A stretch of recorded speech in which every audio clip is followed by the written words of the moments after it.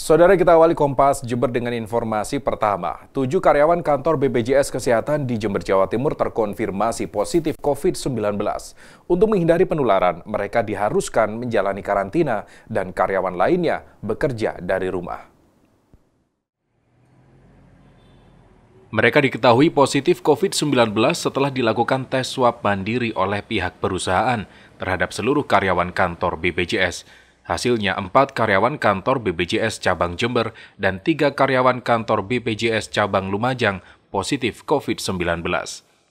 Ketujuh karyawan tersebut tergolong OTG atau orang tanpa gejala karena kondisinya sehat, namun mereka harus menjalani karantina mandiri agar tidak menular ke orang lain. Untuk menghindari penularan, karyawan lainnya diminta untuk bekerja dari rumah dan memperlakukan pengaturan piket.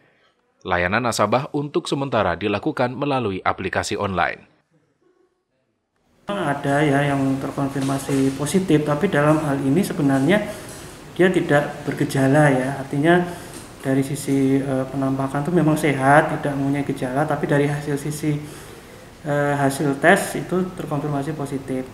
Jadi e, jumlahnya ada empat di kantor eh, Kabupaten Jember, kemudian ketiga di Kabupaten Lumajang, karena kan Lumajang masuk di kantor cabang Jember ini. Pihak BPJS telah berkoordinasi dengan Satgas COVID-19 untuk melakukan tracing kepada orang yang kontak erat dengan tujuh karyawan. Tim Liputan Kompas TV Jember, Jawa Timur.